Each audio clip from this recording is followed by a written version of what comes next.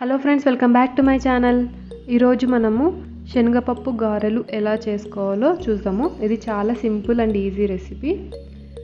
ముందుగా మనం శనగపప్పును మూడు గంటల పాటు నానబెట్టి పెట్టుకోవాలి. తర్వాత అందులో నుంచే కొద్దిగా శనగపప్పును తీసి పక్కకు పెట్టుకోండి.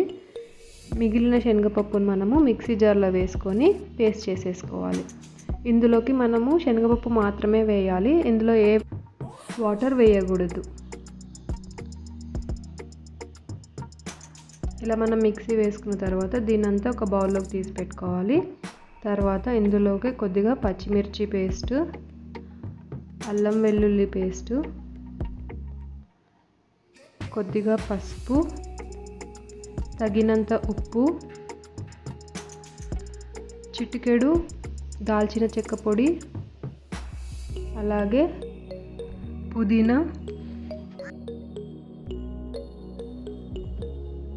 అలాగే కొన్ని ఆనియన్స్ కట్ చేసినవి కూడా వేసుకొని మనం ముందుగా సపరేట్గా తీసి పెట్టుకున్న శనగపప్పు కూడా ఇందులోకి వేసేసుకొని బాగా కలుపుకోవాలి.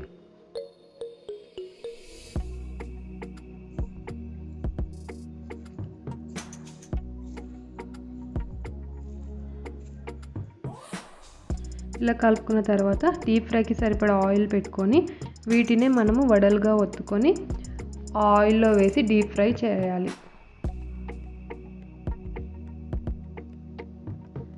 ఇలా అన్నిటినీ వేసేసుకొని గోల్డెన్ బ్రౌన్ కలర్ వచ్చేంత వరకు వేయించుకుంటే క్రిస్పీ శనగపప్పు గారెలు రెడీ అయిపోతాయి.